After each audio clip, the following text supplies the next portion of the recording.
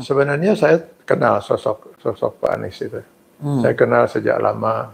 Uh, beliau juga mengaku kenal de dengan saya, tapi kita belum akrab itu. Yeah. Saya nggak ada hubungan keluarga, Pak. Tapi saya kemudian dan teman-teman para ulama di Jawa Barat menjelang Pilpres memberanikan diri untuk mengambil sikap. Pak. Begitu berharap kepada seorang Anies, yeah. begitu mengagungkan, memuja-muji, kok saya ada khawatir ini jadi kultus individu ini Pak ya, Bagus untuk diingatkan agar kita tidak mengkultus individukan seorang. Tapi Nah Pak Kiai, pelajaran dari kemarin-kemarin dan yang sekarang tentunya ini kan membuat tadi bicara kedaulatan rakyat ini akhirnya kan bermuara pada dorongan banyak pihak yang berharap uh, kalau kita sebut satu sosok tokoh perubahan Anies Baswedan ini eh, banyak yang berharap meminta bikin sendiri aja lah gitu partai politik gitu yeah. atau ormas gitu.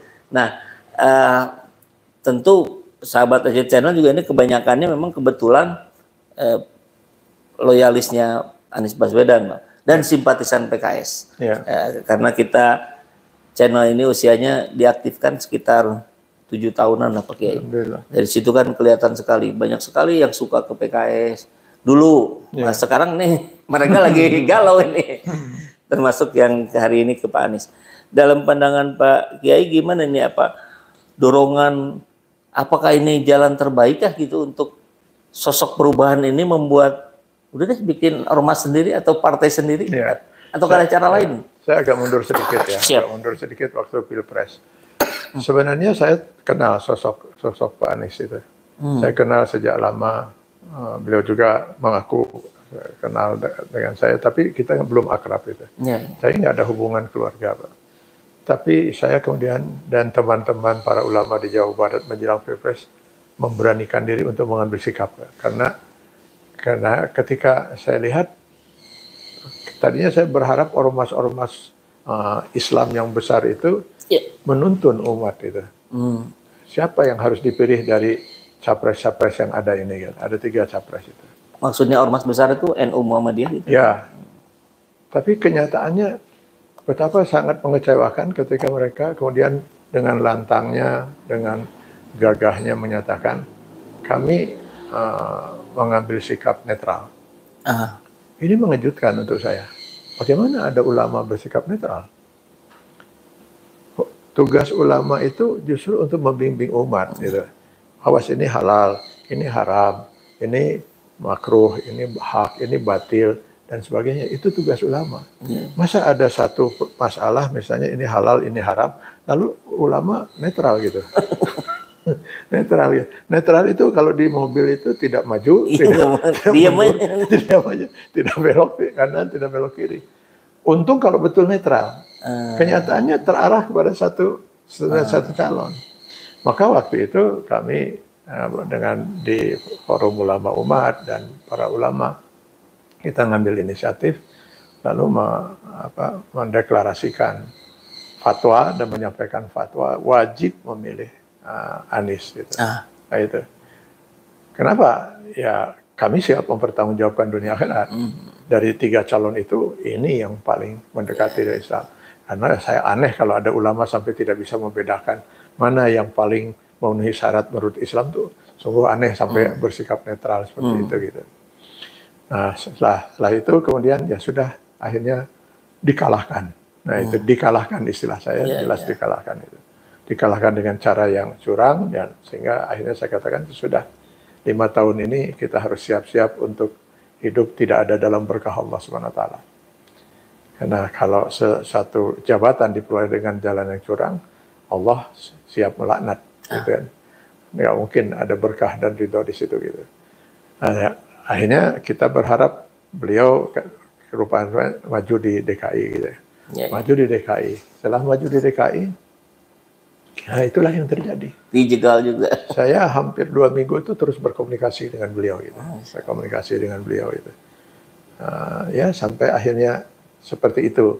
Terakhir ya beliau kemudian dicalonkan di Jawa Barat. Kita ngobrol sampai hampir 40 menit. Beliau minta masukan apakah sebaiknya ditolak atau diterima. Gitu. Mm -hmm. menurut saya karena saya diminta masukan saya berikan masukan nah sebaiknya kalau menurut saya itu tidak diterima gitu. kalau saya memberikan masukan karena banyak apa banyak hal yang harus kita uh, perhitungkan untuk untuk kalau diterima dan dengan resikonya dan sebagainya. Nah setelah itu kemudian saya sempat bertanya, lalu gimana peta selanjutnya gitu. Hmm. Semangat perubahan ini harus dipelihara terus karena ini yang akan yang akan memperbaiki kondisi negeri yang sudah sangat terpuruk ini. Iya, iya. Ya, perubahan ini mungkin semisal uh, 98 reformasi lah gitu. Ya. Ini harus dipelihara.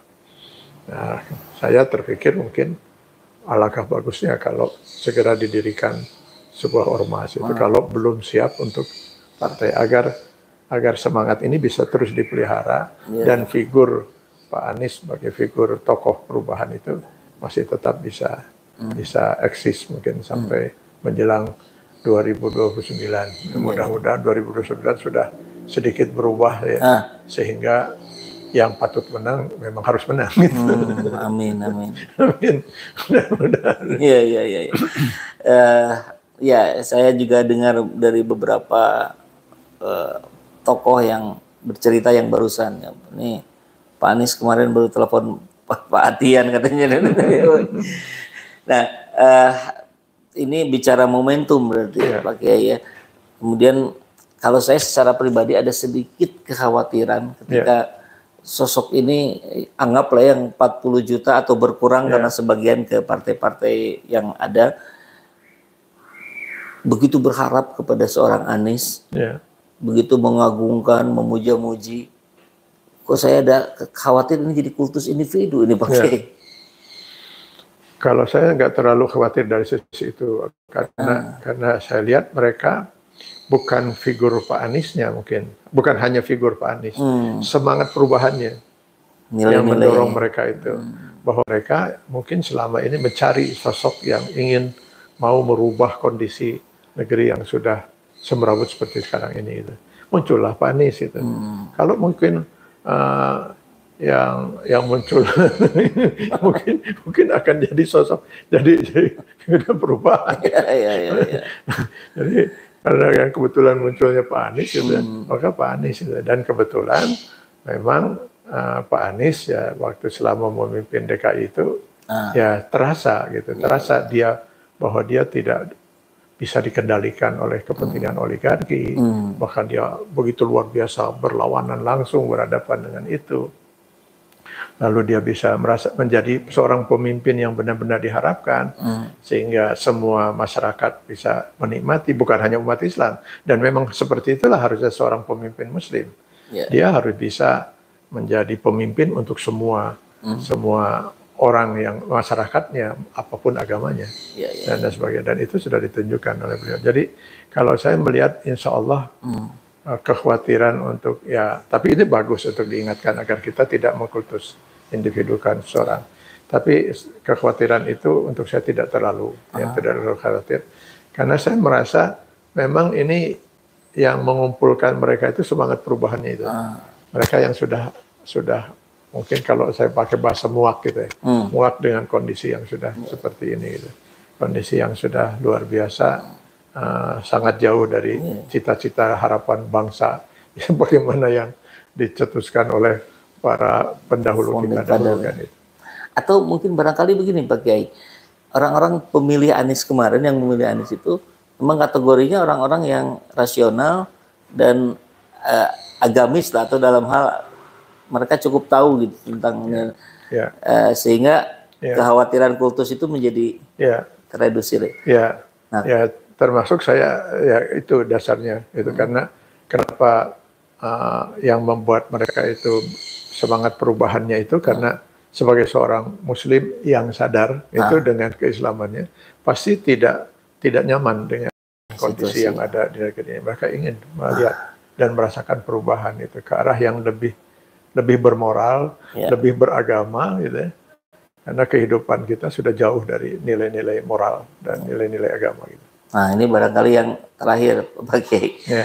Kalau begitu bagaimana dengan kalangan mayoritas muslim yang tersebar di Kalau yang dianggap tadi yang tadi ini orang-orang yang sadar gitu. Yeah. Nah ini yang nggak sadar, yang biasa dipermainkan, dijadikan objek oleh kekuasaan, dibeli 100-200 ribu.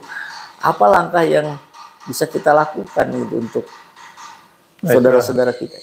Mungkin itulah salah satu kelemahan kita gitu ya. Kita nggak nggak bisa sampai menyentuh sampai dengan keterbatasan langkah kita gitu ya. Ya. Keterbatasan langkah kita, keterbatasan media kita sehingga nggak bisa sampai menyentuh sampai ke bawah itu. Kita harapkan mudah-mudahan ya kesadaran ini muncul dari para ulama, para ustadz gitu ya. Ya, ya. Karena mungkin di pelosok-pelosok itu banyak ustadz itu ya.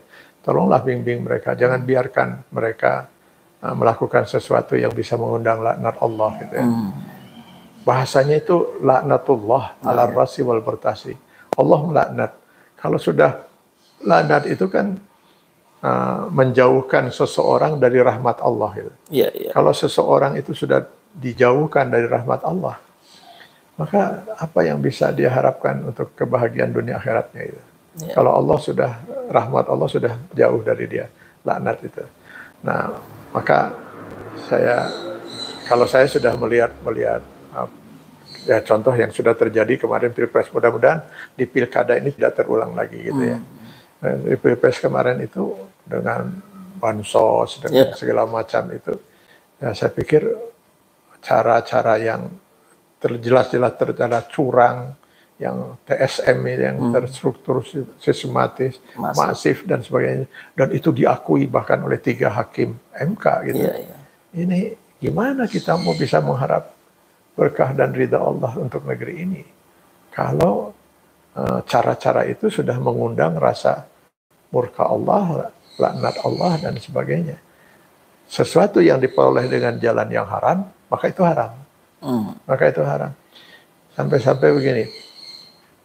Ada seorang pria, dia berdoa di tengah padang pasir itu.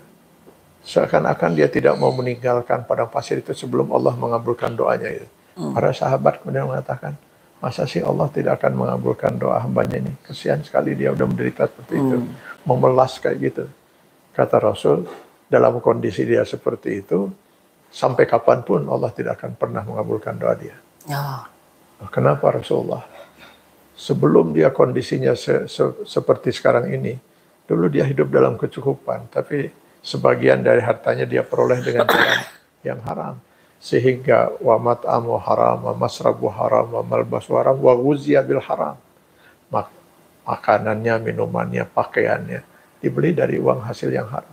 Kalau sudah bergelimang dengan yang haram itu, bagaimana mungkin Allah akan ridho dan mau mengabulkan doanya? Kita mau menghadap Allah gara-gara kentut gitu. Gak bisa kita menghadap Allah. Sudu dulu ya. Harus dulu. Ki- Allah itu zat yang maha suci, tidak mau menerima dari hambanya kecuali yang suci pula. Harus wudu dulu, harus bersuci dulu. Padahal cuma sekedar kentut. Kentut itu bukan perbuatan haram gitu, bukan perbuatan dosa. Yang haram tuh kalau orang kentut gak mau ngaku itu buat dosa. nah kalau sekarang suatu buah jabatan diperoleh dengan jalan yang haram. Hmm. Gimana Allah akan ditolong?